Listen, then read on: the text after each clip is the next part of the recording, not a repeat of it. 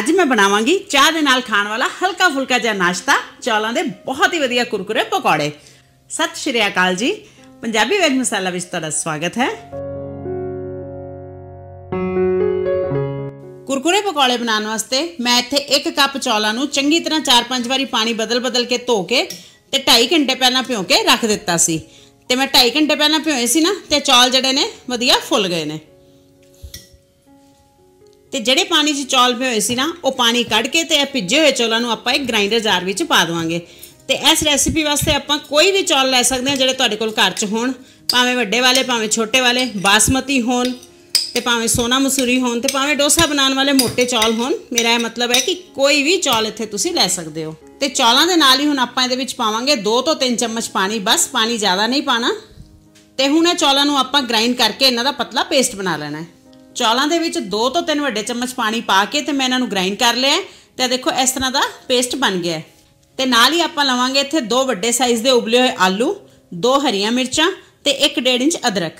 ਤੇ ਇੱਥੇ ਵੇਖੋ ਜੀ, ਹੁਣ ਮੈਂ ਉਬਲੇ ਹੋਏ ਆਲੂਆਂ ਨੂੰ, ਹਰੀਆਂ ਮਿਰਚਾਂ ਨੂੰ ਔਰ ਅਦਰਕ ਨੂੰ, ਯਾਨੀ ਕਿ ਤਿੰਨਾਂ ਚੀਜ਼ਾਂ ਨੂੰ ਛੋਟੇ ਛੋਟੇ ਟੁਕੜਿਆਂ ਵਿੱਚ ਕੱਟ ਲਿਆ ਤੇ ਹੁਣ ਇਹ ਕੱਟੀਆਂ ਹੋਈਆਂ ਹਰੀਆਂ ਮਿਰਚਾਂ ਔਰ ਅਦਰਕ ਔਰ ਆਲੂਆਂ ਨੂੰ ਨਾ ਆਪਾਂ ਚੌਲਾਂ ਵਾਲੇ ਪੇਸਟ ਦੇ ਨਾਲ ਹੀ ਮਿਕਸਰ ਦੇ ਗ੍ਰਾਈਂਡਰ ਜਾਰ ਦੇ ਵਿੱਚ ਪਾ ਦਵਾਂਗੇ।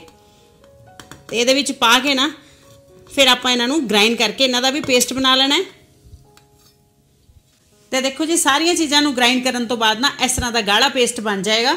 ਤੇ ਜੇ ਇੱਕ ਵਾਰ ਚ ਨਾ ਪੀਸਿਆ ਜਾਵੇ ਨਾ, ਤੁਸੀਂ ਦੋ ਵਾਰ ਚ ਵੀ ਪੀਸ ਸਕਦੇ ਹੋ ਤੇ ਜਾਂ ਫਿਰ ਜੇ ਤੁਹਾਡਾ ਗ੍ਰਾਈਂਡਰ ਜਾਰ ਛੋਟਾ ਹੈ ਨਾ, ਤੇ ਪਹਿਲਾਂ ਚੌਲਾਂ ਨੂੰ ਪੀਸ ਕੇ ਕੱਢ ਲਵੋ ਤੇ ਬਾਅਦ ਵਿੱਚ ਆਲੂ, ਅਦਰਕ ਤੇ ਹਰੀਆਂ ਮਿਰਚਾਂ ਨੂੰ ਪੀਸ ਕੇ ਫਿਰ ਬਾਅਦ ਵਿੱਚ ਸਭ ਨੂੰ ਇਕੱਠਾ ਕਰ ਲਵੋ। ਤੇ ਗ੍ਰਾਈਂਡਰ ਜਾਰ ਚੋਂ ਨਾ ਸਾਰੇ ਪੇਸਟ ਨੂੰ ਕੱਢ ਕੇ ਮੈਂ ਇੱਕ ਮਿਕਸਿੰਗ ਬਾਉਲ ਚ ਪਾ ਲਿਆ ਹੈ।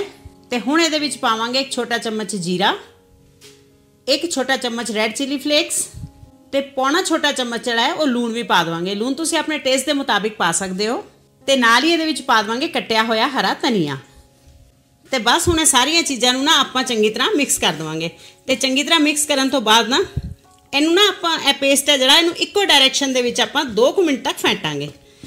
ਡਾਇਰੈਕਸ਼ਨ ਨਹੀਂ ਚੇਂਜ ਕਰਨੀ। ਜੇ ਇੱਧਰ ਫੈਂਟ ਰਿਹਾ ਤੇ ਇੱਧਰ ਹੀ ਫੈਂਟੀ ਜਾਣਾ ਹੈ। ਤੇ ਰੈਸਿਪੀ ਜਿਹੜੀ ਹੈ ਨਾ ਬਹੁਤ ਹੀ ਸੌਖੀ ਹੈ ਔਰ ਬਹੁਤ ਹੀ ਜਲਦੀ ਬਣ ਜਾਂਦੀ ਹੈ। ਐਵਰਗ੍ਰੀਨ ਹੈ, ਜਦੋਂ ਮਰਜ਼ੀ ਬਣਾਓ, ਜਿਹੜੇ ਮਰਜ਼ੀ ਸੀਜ਼ਨ 'ਚ ਬਣਾਓ ਸੀਜ਼ਨ ਦਾ ਇੰਤਜ਼ਾਰ ਕਰਨ ਦੀ ਲੋੜ ਬਿਲਕੁਲ ਨਹੀਂ ਹੁੰਦੀ। ਘਰ ਦੇ ਵਿੱਚ ਚੌਲ ਵੀ ਹੁੰਦੇ ਨੇ ਤੇ ਬਸ ਦੋਨਾਂ ਨੂੰ ਮੇਰੇ ਦੱਸੇ ਤਰੀਕੇ ਨਾਲ ਤੁਸੀਂ, ਮਤਲਬ ਦੋਨਾਂ ਨੂੰ ਮਿਕਸ ਕਰਕੇ ਮੇਰੇ ਦੱਸੇ ਤਰੀਕੇ ਨਾਲ ਇਹ ਰੈਸਿਪੀ ਬਣਾਓ, ਯਾਨੀ ਕਿ ਚੌਲਾਂ ਦੇ ਕੁਰਕੁਰੇ ਪਕੌੜੇ ਬਣਾਓ, ਤੁਹਾਨੂੰ ਬਹੁਤ ਹੀ ਪਸੰਦ ਆਣਗੇ। ਤੇ ਇਹ ਲੋ ਜੀ, ਇਹ ਪੇਸਟ ਨੂੰ ਨਾ ਮੈਂ ਇੱਕੋ ਪਾਸੇ ਲਗਾਤਾਰ ਚਲਾਉਂਦੇ ਹੋਏ 2 ਮਿੰਟ ਤੱਕ ਫੈਂਟ ਲਿਆ ਤੇ ਦੇਖੋ, ਤੁਸੀਂ ਇਹ ਵਧੀਆ ਫੁੱਲ ਗਿਆ ਤੇ ਇਹਦੀ ਕੰਸਿਸਟੈਂਸੀ ਵੀ ਦੇਖੋ ਤੁਸੀਂ। ਇੰਨੀ ਗਾੜੀ ਹੋਣੀ ਚਾਹੀਦੀ ਹੈ ਪਕੌੜੇ ਬਣਾਉਣ ਵਾਸਤੇ। ਤੇ ਫਰਾਈ ਕਰਨ ਵਾਸਤੇ ਨਾ ਮੈਂ ਇੱਥੇ ਤੇਲ ਪਹਿਲਾਂ ਹੀ ਗਰਮ ਹੋਣ ਵਾਸਤੇ ਰੱਖਿਆ ਹੋਇਆ ਹੈ ਤੇ ਜਦੋਂ ਤੇਲ ਚੰਗੀ ਤਰ੍ਹਾਂ ਗਰਮ ਹੋ ਜਾਏਗਾ, ਗੈਸ ਦੀ ਫਲੇਮ ਨੂੰ ਆਪਾਂ ਕਰ ਲਵਾਂਗੇ ਸਿਮ। ਇੱਕ ਵਾਰੀ ਸਿਮ ਕਰਾਂਗੇ, ਫਿਰ ਨਾਲ ਨਾਲ ਫਲੇਮ ਨੂੰ ਸੈੱਟ ਕਰਦੇ ਹੋਏ ਇਹਨਾਂ ਨੂੰ ਆਪਾਂ ਫਰਾਈ ਕਰਾਂਗੇ। ਤੇ ਹੱਥ ਦੀਆਂ ਉਂਗਲਾਂ ਨੂੰ ਥੋੜਾ ਜਿਹਾ ਪਾਣੀ ਲਾ ਕੇ ਥੋੜਾ ਜਿਹਾ ਮਟੀਰੀਅਲ ਲੈ ਕੇ ਤੇ ਆਰਾਮ ਨਾਲ ਹੌਲੀ ਹੌਲੀ ਨਾ ਆਇਲ ਦੇ ਵਿੱਚ ਪਾਉਂਦੇ ਜਾਵਾਂਗੇ। ਬਸ ਧਿਆਨ ਨਾਲ ਪਾਓ। ਕਿ ਆਇਲ ਜਿਹੜਾ ਹੈ ਤੁਹਾਡੇ ਉਂਗਲਾਂ ਤੇ ਹੱਥਾਂ ਤੇ ਨਾ ਗਿਰੇ। ਤੇ ਕੋਸ਼ਿਸ਼ ਆਈ ਕਰਿਓ ਕਿ ਜਿਹੜੀ ਕੜਾਈ ਆਪਾਂ ਲੈਣੀ ਹੈ ਨਾ, ਉਹ ਇਸ ਤਰ੍ਹਾਂ ਦੀ ਚੌੜੇ ਤਲੇ ਵਾਲੀ ਹੋਵੇ, ਯਾਨੀ ਕਿ ਫਲੈਟ ਹੋਵੇ। ਜਿਹੜੀ ਗਹਿਰੀ ਜੀ ਕੜਾਈ ਹੁੰਦੀ ਹੈ, ਉਹ ਨਾ ਲਿਓ।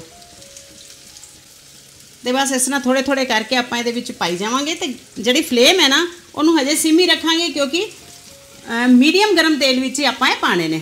ਤੇ ਜਦੋਂ ਇੱਕ ਸਾਈਡ ਤੋਂ ਫਰਾਈ ਹੁੰਦੇ ਹੋਏ ਥੋੜੀ ਦੇਰ ਹੋ ਜਵੇ ਨਾ, ਤੇ ਉਸ ਤੋਂ ਬਾਅਦ ਆਪਾਂ ਇਹਨਾਂ ਨੂੰ ਹੌਲੀ ਹੌਲੀ ਇਸ ਤਰ੍ਹਾਂ ਇਸ ਤਰ੍ਹਾਂ ਕਰਕੇ ਆਇਲ ਨੂੰ ਚਲਾਉਂਦੇ ਜਾਵਾਂਗੇ ਤੇ ਹੌਲੀ ਹੌਲੀ ਇਹਨਾਂ ਨੂੰ ਪਲਟਦੇ ਜਾਵਾਂਗੇ, ਇਸ ਤਰ੍ਹਾਂ। ਤੇ ਦੇਖੋ ਤੁਸੀਂ ਆਪੇ ਹੀ ਉਲਟਦੇ ਪੁਲਟਦੇ ਪਏ ਨੇ, ਹੈਨਾ? ਕਿਉਂਕਿ ਆਪਾਂ ਇਹ ਜਿਹੜਾ ਬੈਟਰ ਹੈ ਨਾ, ਇਹਨੂੰ ਬਹੁਤ ਅੱਛੀ ਤਰ੍ਹਾਂ ਫੈਟਿਆ ਹੈ।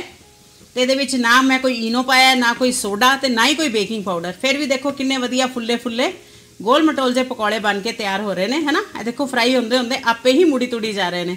ਆ ਦੇਖੋ, ਉਲਟਦੇ ਪੁਲਟਦੇ ਪਏ ਨੇ। ਤੇ ਬਸ ਇਸੇ ਤਰ੍ਹਾਂ ਹੀ ਨਾ ਆਇਲ ਨੂੰ ਚਲਾਉਂਦੇ ਹੋਏ ਜਾਂ ਹੌਲੀ ਹੌਲੀ ਇਹਨਾਂ ਨੂੰ ਪਲਟਦੇ ਹੋਏ ਚਲਾਉਂਦੇ ਹੋਏ ਪਕੌੜਿਆਂ ਨੂੰ ਆਪਾਂ ਇਹਨਾਂ ਨੂੰ ਬ੍ਰਾਊਨ ਕਲਰ ਆਉਣ ਤੱਕ ਫਰਾਈ ਕਰ ਲਵਾਂਗੇ, ਨਾ ਲਾਈਟ ਬ੍ਰਾਊਨ ਨਾ ਡਾਰਕ ਬ੍ਰਾਊਨ ਬਸ ਵਧੀਆ ਜਿਹਾ ਬ੍ਰਾਊਨ ਕਲਰ ਆ ਜਾਵੇ, ਉਦੋਂ ਤੱਕ ਆਪਾਂ ਇਹਨਾਂ ਨੂੰ ਫਰਾਈ ਕਰਾਂਗੇ। ਤੇ ਫਰਾਈ ਕਰਦੇ ਕਰਦੇ ਨਾ, ਜਦੋਂ ਇਸ ਤਰ੍ਹਾਂ ਦਾ ਬ੍ਰਾਊਨ ਜਿਹਾ ਕਲਰ ਆ ਜਾਵੇ, ਉਦੋਂ ਆਪਾਂ ਇਹਨਾਂ ਨੂੰ ਆਇਲ ਚੋਂ ਕੱਢ ਲਵਾਂਗੇ। ਤੇ ਕੋਸ਼ਿਸ਼ ਆਈ ਕਰਿਓ, ਜਿਵੇਂ ਮੈਂ ਤੁਹਾਨੂੰ ਦੱਸਿਆ ਕਿ ਇੱਕ ਤਾਂ ਕੜਾਈ ਚੌੜੇ ਤਲੇ ਦੀ ਲਿਓ, ਹੈ ਨਾ?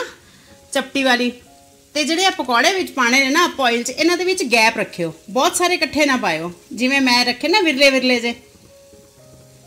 ਕਿਉਂਕਿ ਇਹਨਾਂ ਦਾ ਜਿਹੜਾ ਇਹ ਪੇਸਟ ਹੈ ਨਾ, ਆਪਾਂ ਜਿਹੜਾ ਇਹਦਾ ਮਟੀਰੀਅਲ ਬਣਾਇਆ ਹੈ ਬੈਟਰ ਇਹ ਕਾਫੀ ਸੌਫਟ ਹੁੰਦਾ ਹੈ। ਤੇ ਇਸ ਕਰਕੇ ਜੇ ਇਕੱਠੇ ਬਹੁਤ ਸਾਰੇ ਪਾ ਦਵਾਂਗੇ ਨਾ, ਤੇ ਆਪਸ ਵਿੱਚ ਇਹ ਚਿਪਕ ਜਾਣਗੇ ਤੇ ਫਿਰ ਪਲਟਣ ਲੱਗਿਆ ਟੁੱਟਣਗੇ ਤੇ ਉਹਨਾਂ ਵਿੱਚ ਫਿਰ ਤੇਲ ਭਰੇਗਾ। ਇਸ ਕਰਕੇ ਥੋੜੇ ਥੋੜੇ ਪਾਇਓ ਤੇ ਥੋੜੇ ਥੋੜੇ ਫਰਾਈ ਕਰਕੇ ਬਾਕੀ ਦੇ ਦੂਸਰੇ, ਤੀਸਰੇ, ਚੌਥੇ ਪਰਾਗੇ ਵਿੱਚ ਫਰਾਈ ਕਰ ਲਿਓ। ਤੇ ਇੱਥੇ ਮੈਂ ਦੂਸਰਾ ਪਰਾਗਾ ਵੀ ਆਇਲ ਦੇ ਵਿੱਚ ਪਾ ਦਿੱਤਾ ਹੈ ਤੇ ਇਸ ਤਰ੍ਹਾਂ ਵਿਰਲੇ ਵਿਰਲੇ ਹੀ ਪਾਇਓ, ਇਕੱਠੇ ਜੇ ਨਾ ਕਰ ਲਿਓ, ਠੀਕ ਹੈ? ਤੇ ਬਸ ਗੈਸ ਦੀ ਫਲੇਮ ਨੂੰ ਸੈੱਟ ਕਰਦੇ ਹੋਏ ਬ੍ਰਾਊਨ ਜਿਹਾ ਕਲਰ ਆਉਣ ਤੱਕ ਸਾਰੇ ਮਟੀਰੀਅਲ ਨੂੰ ਆਪਾਂ ਇਸ ਤਰ੍ਹਾਂ ਹੀ ਫਰਾਈ ਕਰਕੇ ਪਕੌੜੇ ਬਣਾ ਲਵਾਂਗੇ।